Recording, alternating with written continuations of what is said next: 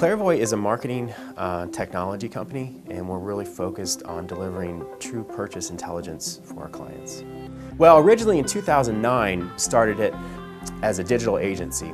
You know, I sold my car to start the company. Uh, we had a two-year-old and a four-year-old at home. That's, you know, how was the genesis of Clarivoy, but then I knew I wanted to do something bigger that would have a bigger impact. And so that's when when this other agency came to me and said, hey, can you help us measure the impact of TV, I, I, I, thought that that was probably what I wanted to do with, with the future of the company, is create you know, products that could really deliver value and insight. So there's always been this fascination of trying to understand exactly you know, what was motivating a customer to actually uh, take different, different behaviors and ultimately being able to tie that back to the uh, campaigns that we were delivering for them. You know, Rev1, obviously the, the venture capital uh, has been huge. Um, but I think the supporting infrastructure has been huge as well in terms of, you know, connecting us with, you know, their expert network of, of, of folks.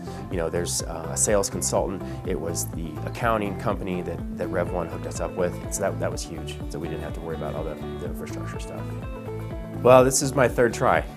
So I had two failures before that, and so there's definitely some lessons learned uh, on how to do that. But uh, you know, you do have to reach that point where you have to go all out. But um, you know, maybe I was overly optimistic, particularly when I started the company. It happened to be the lowest day on the stock market in the last 10, 15 years.